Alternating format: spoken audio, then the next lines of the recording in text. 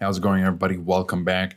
And if you're a complete beginner and you're wondering how you can host a website and just start your own website, of course, you're going to need a place to host your website by choosing a web hosting provider. And I'll get into all the details. I've got two web hosting providers, two of the best, uh, which is going to be Hostinger and Bluehost. So, of course, before we begin, if you guys are interested in any of these web hosting providers, you'll find links to pricing and discounts in the description down below, as well as full reviews if you'd like to learn more about them. Now, there are two ways to host a website. You can either pay someone else to do it for you or do it yourself. Or to put it more technically, you can use a hosting platform or host locally.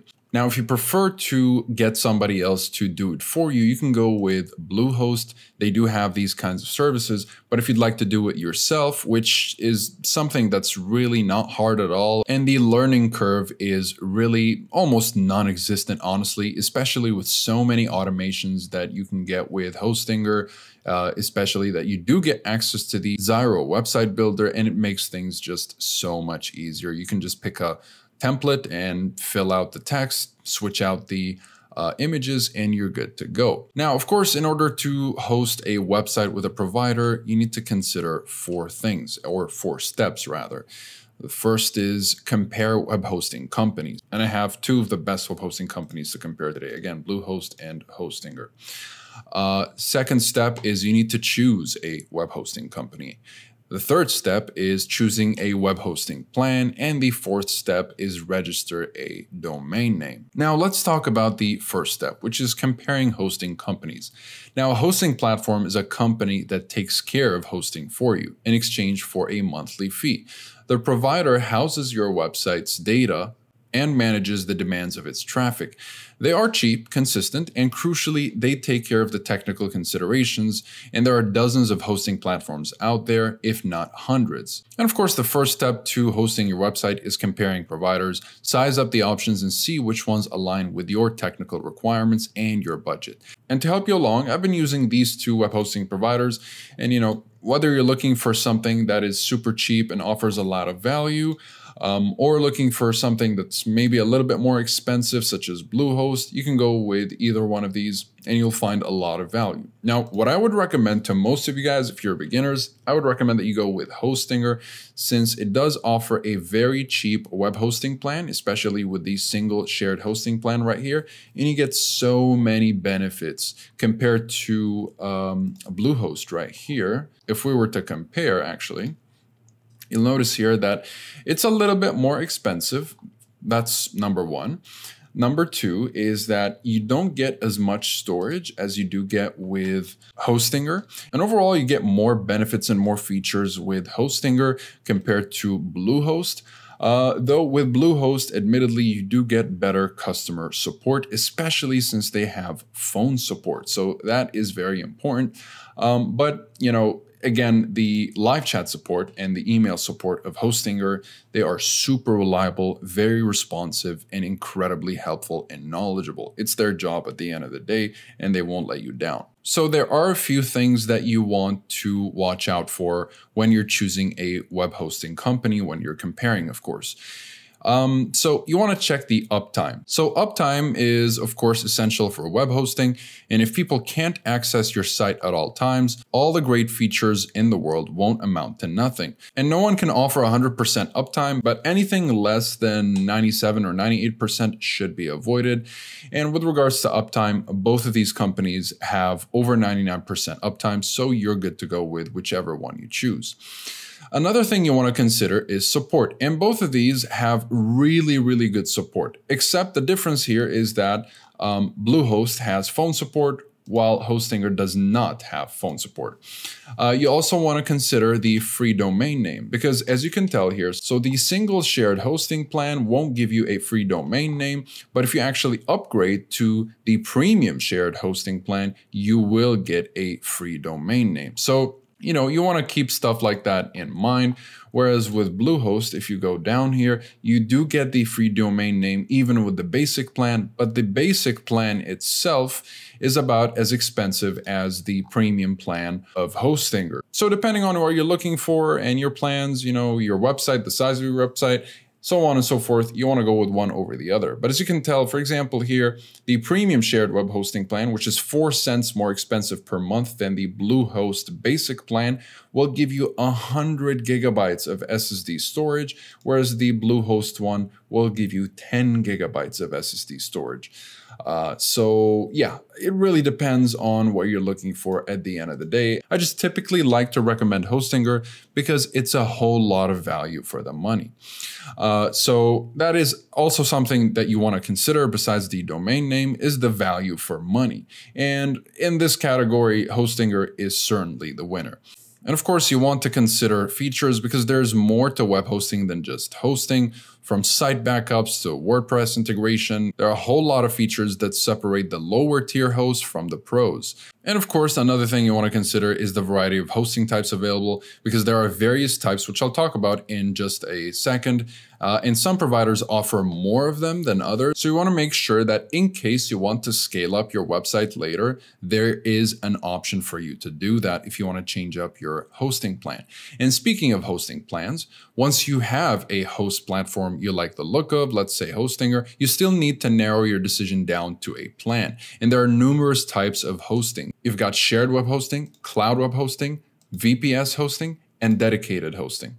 And let's start with the definitions here, starting with the shared web hosting. Now, shared web hosting is when multiple sites are stored on one server. So your site will be one of those sites sharing a server uh, with other sites. And sharing the space is more cost effective, which is why it's very cheap, but it also means resources are finite. And this would be for small and starter sites with modest technical demands.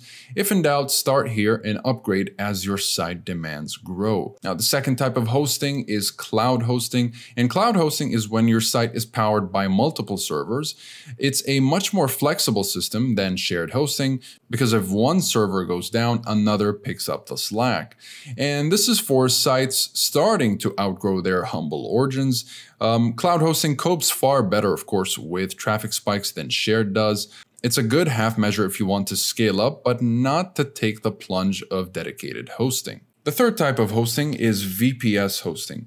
And VPS hosting is a halfway point between shared and dedicated servers, and you share server space with other sites, but a section of it is entirely yours.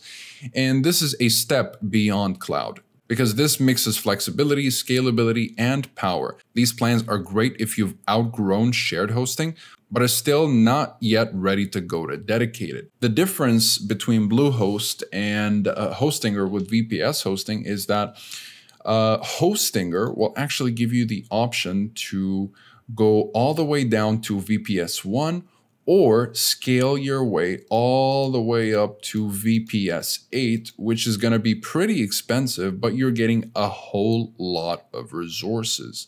And when you compare the resources that you get here with what you get with the ultimate and most expensive VPS plan with Bluehost, then you'll notice the difference. Now, if you're looking for dedicated hosting, this is where you are the sole tenant of a server. Of course, you're going to be paying a whole lot more money for this one because you'll get all those resources to yourself. This exclusivity costs, but it's worth it if your site is resource intensive. And of course, this is for the big leagues. If you're just starting out, you don't want to get anywhere near this tier of plan. Not yet, anyways. And of course, you can probably do just fine with a VPS plan. Uh, a dedicated plan is just meant for those that are looking to, well, start a huge website. Okay. And if dedicated hosting is what you're looking for, you're going to find it with Bluehost because unfortunately Hostinger does not offer that. Okay, now the final step is of course, you need to get a domain name, which we spoke about a little earlier, which is of course your digital address. Now, nearly every web hosting provider includes domain name registration in its sign up process. Sometimes it's included as a freebie in the plan you've chosen. With Bluehost, for example, all of the plans will give you a free domain domain name. Uh, but with Hostinger, considering that you do have the option to, you know, get something that's super cheap, uh, you don't really get the free domain name, but if you just pay one more dollar per month, you will be able to get that free domain name.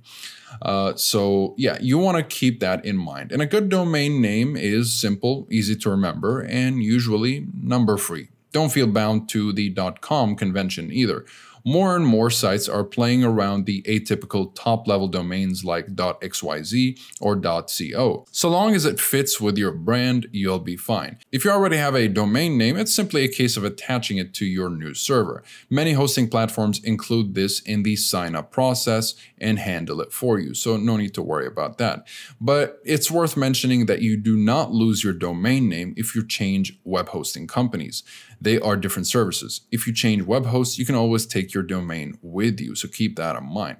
And that's pretty much it for this video. Follow these steps and you should have a good idea, you know, of what you want to go for. Take a good look at these plans, what you get with them, compare it to other web hosting providers. Again, I brought up two of the best web hosting providers that you can uh, look for in the business, Bluehost and Hostinger. Really, really, really good services, and I highly recommend them. And again, if you guys are interested in any of these web hosting providers, you'll find links to pricing discounts in the description down below, which will drop the price even more. And you will find links to full reviews if you'd like to learn more about these web hosting providers. And of course, you want to keep in mind what is the website for?